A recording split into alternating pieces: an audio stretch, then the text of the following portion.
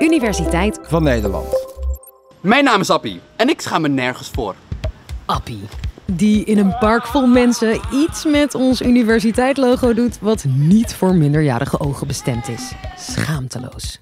Je laat een glas wijn over iemands witte broek vallen, je gulp staat open. Ieder mens krijgt wel eens te maken met schaamte. Het is eigenlijk een uh, evolutionair uh, verklaarbare emotie. Dit is Aukje Nauta, psycholoog aan Universiteit Leiden. Zij doet al jaren onderzoek naar schaamte. Een emotie die je liever wel dan niet hebt, volgens haar. Fysieke pijn hebben we om uh, fysiek te overleven. En schaamte is eigenlijk sociale pijn en die hebben we nodig om sociaal te overleven. Denk maar in als je nooit zou schamen, nou dan sta je eigenlijk voortdurend op iemands tenen. Hè? Dan ja, ga je over grenzen heen, dan boer je in iemands gezicht bijvoorbeeld. En ja, dat, dat is gewoon niet zo prettig. Prettig of niet? Sommige mensen lijken zich toch echt nergens voor te schamen. Maar kan dat eigenlijk wel? We denken zo iemand gevonden te hebben. Appie Moussa. Je kunt Appie kennen van zijn gekke, grappige sketches op TikTok en Instagram.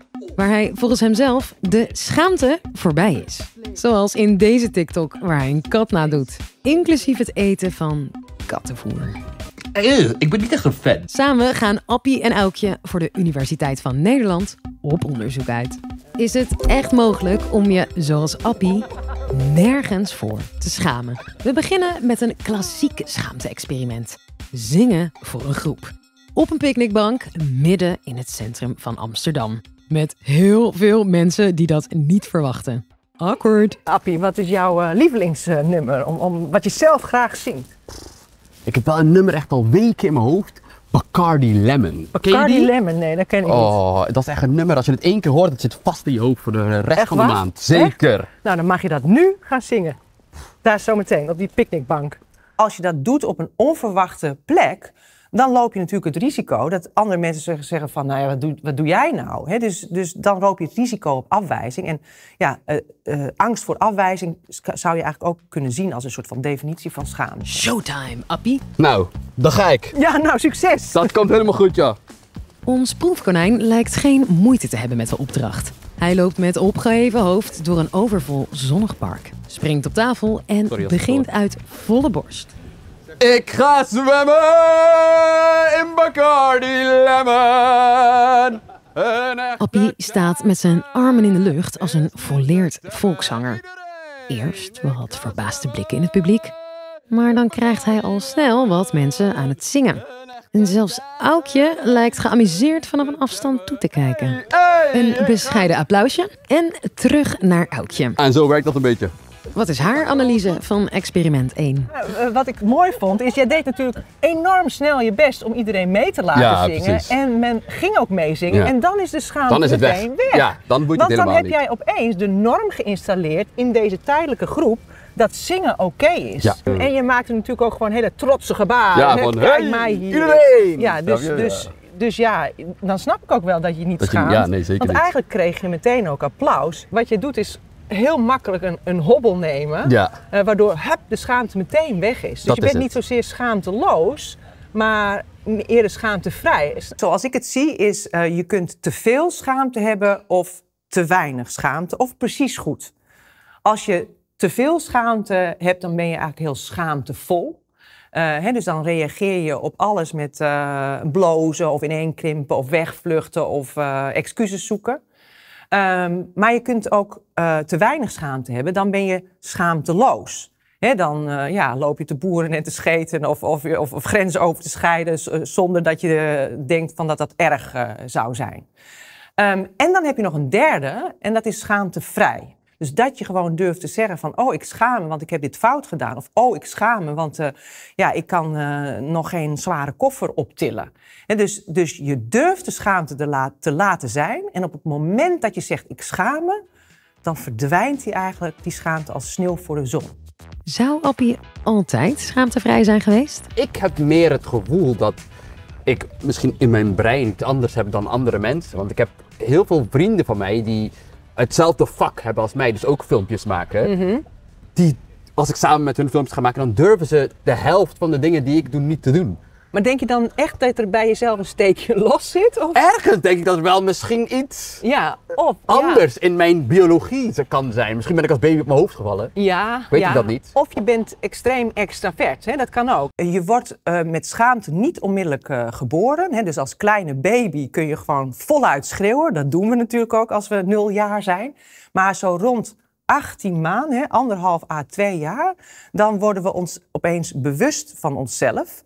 En als we dat zelfbewustzijn hebben, eh, ja, dan, ja, dan wil je dus eigenlijk ook gewoon geen gekke dingen doen waardoor je niet een mens bent als alle anderen. Een experiment wat ze bijvoorbeeld ook hebben gedaan is dat ze dan eh, jonge kinderen een geeltje op het voorhoofd plakken. En dan naast die, dat jonge kind staan dan de ouders en de onderzoekers. En als de ouders en de onderzoekers eh, een geeltje, ook een geeltje op hun voorhoofd hebben, dan laat eh, het kindje het gewoon zitten. Maar hebben ze geen geeltje op het voorhoofd, dan denkt het kindje, oh dat is gek, ik wijk af. En dan halen ze het geeltje onmiddellijk weer van hun voorhoofd af. En dat bewijst eigenlijk dat, en dat, dat, dat doet zo zijn intrede bij 18 maanden à 2 jaar.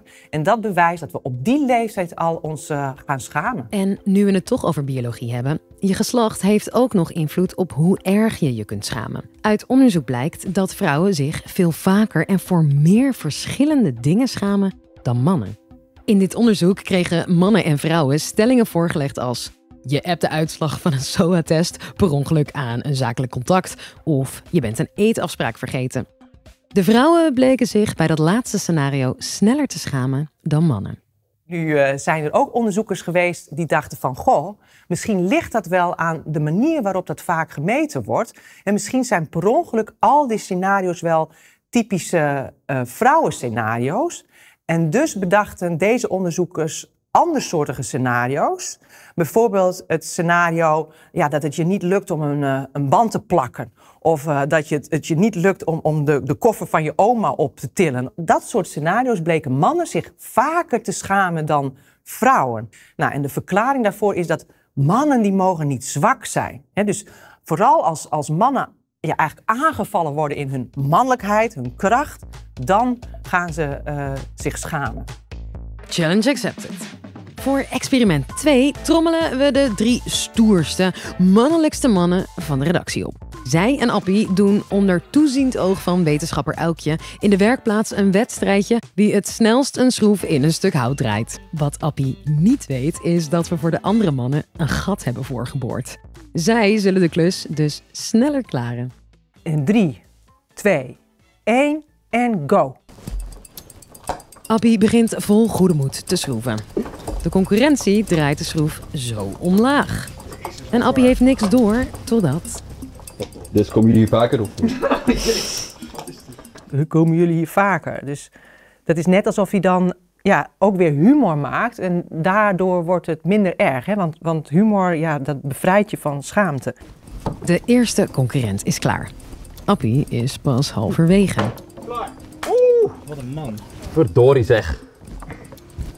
Maar nu ziet hij dat die anderen wel veel sneller gaan. Dus nu zie ik hem opeens ook zo- alsof zijn lach een beetje vergaat. Hè? Dus hij had altijd een soort glimlach op zijn gezicht, maar ineens kijkt hij veel serieuzer.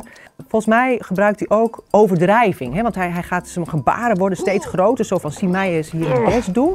En dan is de laatste concurrent ook klaar. Ja, sorry jongens, nog even. En sorry, als je sorry zegt, dat is natuurlijk toch een uiting van schaamte of schuld. Hè? Dus schuld en schaamte liggen dicht bij elkaar. Schuld gaat meer over gedrag en schaamte meer over hoe je bent als mens.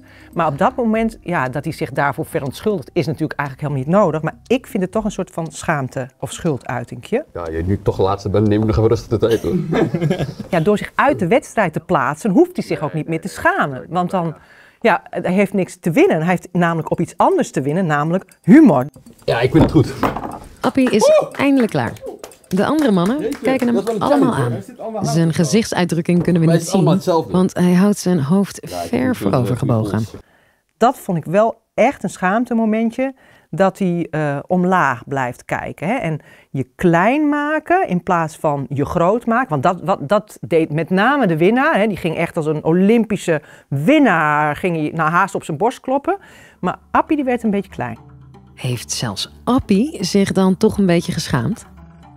ik voel me beschaamd. Ja? Bijvoorbeeld bij het experiment met dat schroeven, dat vond ik een heel goed experiment. Mhm. Want daar was het, je zag ook gewoon van, dat ik rondkeek en dacht van, hé, hey, Ja, ze zijn eerder dan mij klaar. Weet je, dat is een hele andere scenario dan nu iets geks doen Mhm. ja voor dat publiek. snap ik. Ja, hè, dat is een soort van competitie en je wilt toch vaak winnen. Ja, Kun je je echt nergens voor schamen? Dat is uitzonderlijk, maar je kunt er dus wel voor kiezen hoe je met schaamte omgaat. Zoals Appie. Het is aangeleerd gedrag hoe we met schaamte omgaan. Ik vind dat we in het Westen, en dat is zo, we zijn zo individualistisch, zo van oh, ik trek me niks van wie dan ook aan, dat we hebben afgeleerd, vind ik, om op een gezonde manier met schaamte om te gaan.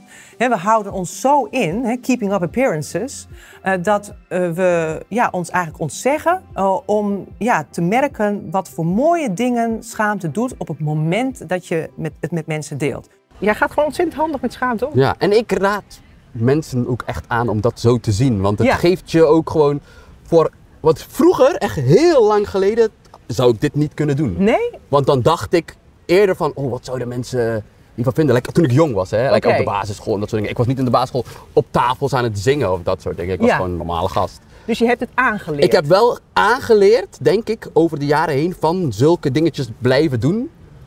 Want nu echt heb ik echt het gevoel dat ik anything kan doen. Ja, Echt ja, waar. Ja. En dat is voor iedereen fijn. Want als jij stress hebt met al de telefoon opnemen, ja, moet je jezelf maar eens een keertje goed voor schut zetten voor een groep mensen. Dan is de telefoon opnemen helemaal niks. helemaal snap je? niks. Ja, inderdaad. Mijn advies is ook vaak van erken dat je je schaamt. Deel het met mensen van, die je kan vertrouwen. Eh, en ja, zie ook de positieve kant ervan. Namelijk dat het bewijst dat je graag een goed mens wilt zijn. Want dan kun je het ook echt als krachtbron eh, inzetten. En voor wie van de experimenten alleen al plaatsvervangende schaamte kreeg, je bent niet alleen. Maar stap op advies van Appie en Aukje vooral eens een keer uit je comfortzone. Wie weet, draai jij je hand hier dan ook niet meer voor om. Een echte tijger, hey, is niet te temmen. Hey, hey, ik ga zwemmen. Bedankt Aukje en Appie. Tot de volgende.